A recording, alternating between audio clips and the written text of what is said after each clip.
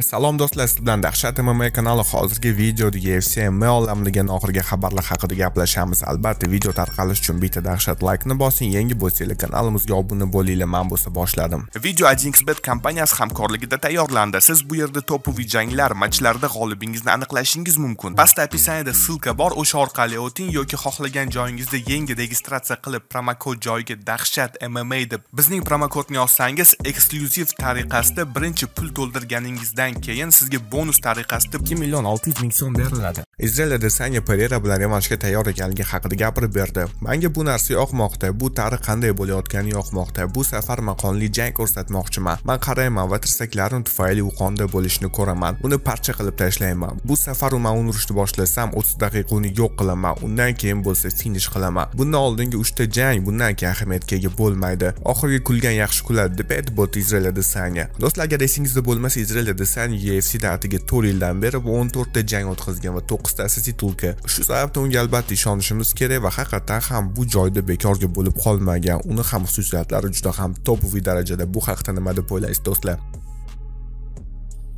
Konor Makgregor bu payti bo'lsa yana o'zini stilida Habibga murojaat qildi. Qirol Sher dam olishga o'tirdi. U zarar olmadi. U bilan hech narsa bo'lmadi. Sher dam olmoqda. Kalamush hammasini tushunmoqda. san qo'rqoqsan. Uchrashib qolsam, man sanga shapati beraman. san hali ham ozod emassan. Ozodlik bu Dagiston tog'larida oilang bilan bo'lsang, ammo buni o'rniga san mehmonxona xonalarida yashamoqdasan. Sani bolalaring va oilaring uyda yolg'iz. Uyg'on, aslini olganda bu qop bilan jang qilish niyatim yo'q. Bundan yaxshi janglar mavjud. Ammo tarixdagi eng katta qo'rqoqligingni hammaga ma'lum ma'lum qilmoqchiman. Bu jang qanday katta bo'lishini tasavvur qilib ko'r va haqiqiy qo'rqoq ekaning bilan yasha. Man ya'ni otang sanga shapati beradi. Yusadi uchun man fevralda bo'shman ikkita yusadi tekshiruvdan o'taman va biz jangni olamiz deb aytib o'tdi konor makgregor do'stlar bu bilan konor yaqinda tekshiruvdan o'tishini va undan keyin jang olishni aytib o'tdi va habib nurmagomedovga murojaat qoldirdi. Ya'ni uchrashib qolsa unga shapat urmoqchi ekan. Albatta ular uchrashib qolmasa kerak va hattoki ular bitta joyda bo'lsa manimcha ularni uchrashishni tashkil qilish juda ham qiyin bo'ladi. Do'stlar bunga o'zingizni fikringizni bildiring bildiring konor nima sababdan yana bu gaplarni aytmoqda deb o'ylaysiz?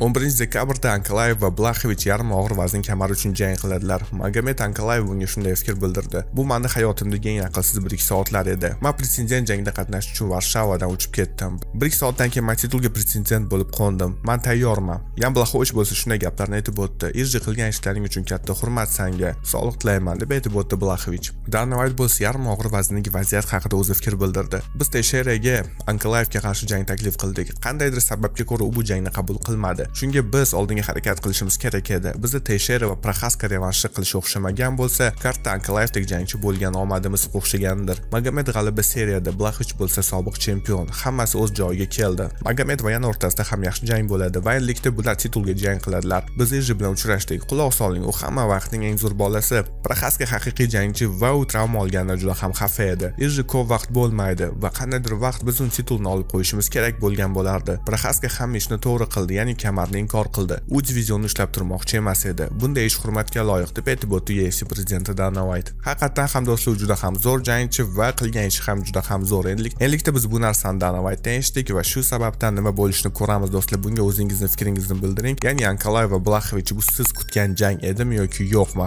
Do'stlar bu videoda yetkazmoqchi bo'lgan xabarlar shular yoqqan bo'lsa layk bosinglar yangi bo'lsanglar kanalimizga obuna bo'linglar.